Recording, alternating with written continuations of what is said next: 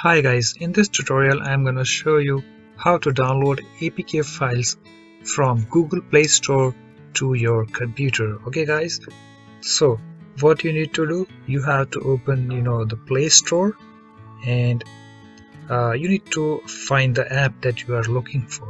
Okay, so also guys, this method will, would work only for uh, the free apps.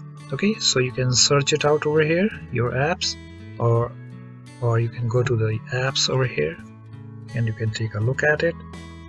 Okay so in this case I want to download this app to my PC so I can you know just you know right click that and click on this copy link URL or I can just open it this app and I can copy this URL over here okay?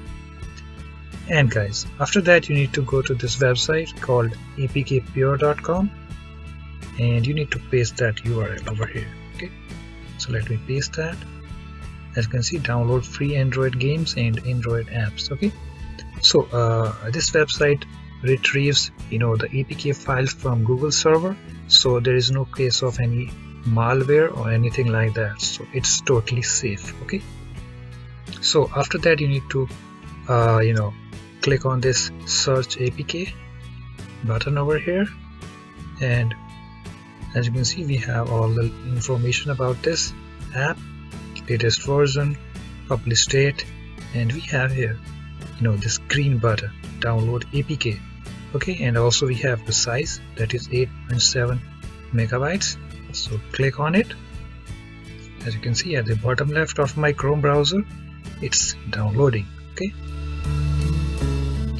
Uh, as you can see guys it's you know downloaded so let me go to the place where I downloaded it. I downloaded it on my desktop. So you can see the APK file over here okay? So guys in this way you can easily uh, download APK files from Google Play Store uh, you know uh, to your computer. So hope this tutorial helps and please rate comment and subscribe for more videos. And thanks for watching